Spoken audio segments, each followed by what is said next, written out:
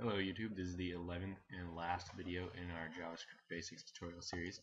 In this video I'm going to be talking about uh, using forms uh, with JavaScript and getting their values and kind of working with them. We're going to be doing a validation tutorial with JavaScript in the advanced series, so I'm not going to go that in depth into forms, but I'm going to show you the basics of how to get information from them and kind of handle it. Um, so I'm going to make a few inputs here.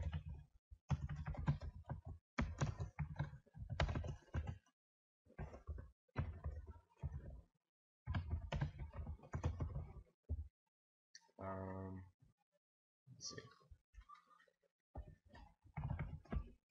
We'll just do four value And then, no, we'll five.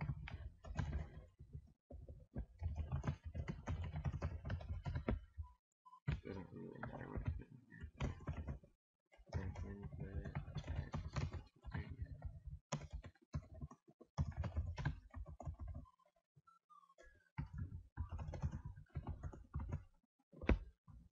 And we can put this all inside of the form if we'd like.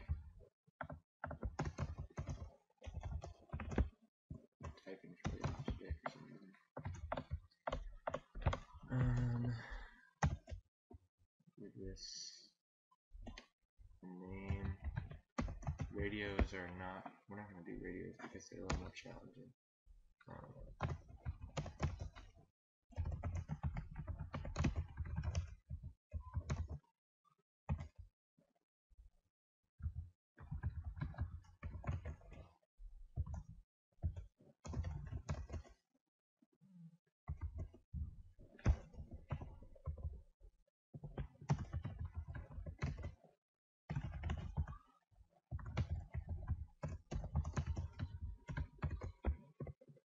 Uh, and then we'll do a text area.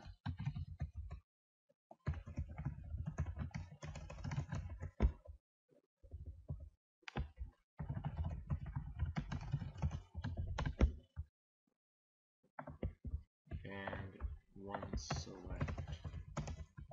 I think that's all we're going to do for this video.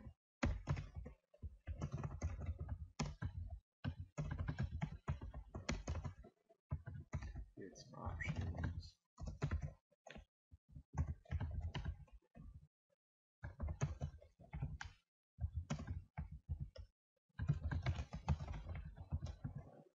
Select option one.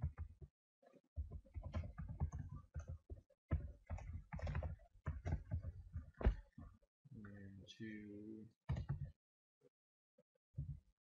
This is an ID of select input an ID uh, select text area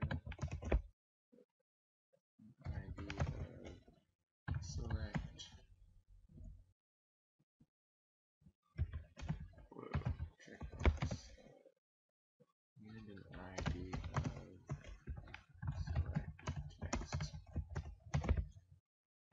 so now we can store all of these um, inputs into variables var select and I guess we just say text equal to document dot get element var id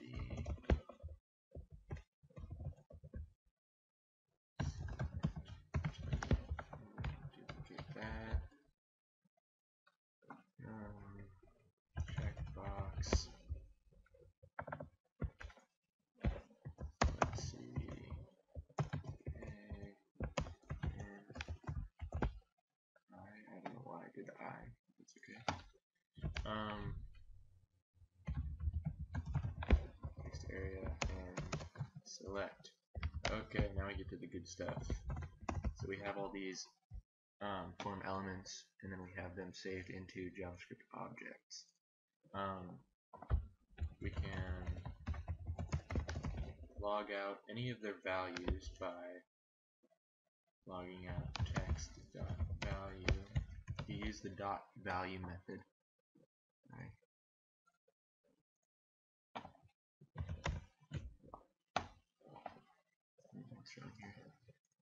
Didn't wait for the window to load as usual.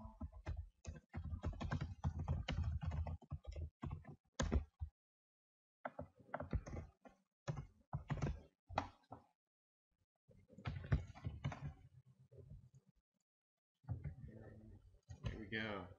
So we got the value that we wanted. Now we can log out checkbox value um,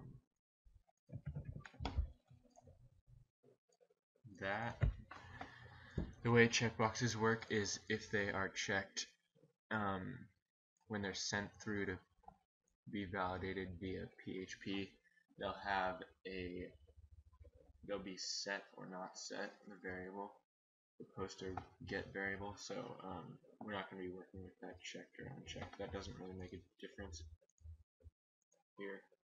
But um, anyway same thing for text area. And same thing for select I'm not going to write that one out because it's kind of a waste of time um, and now I'm going to show you two events that are commonly used with um, inputs or form elements rather. So we can do text dot um, say add event.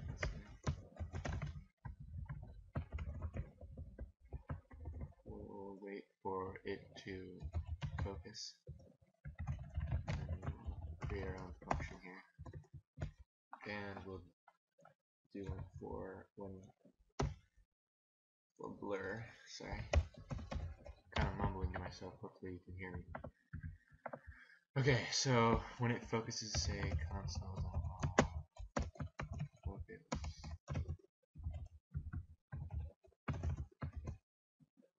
And then we'll echo out value.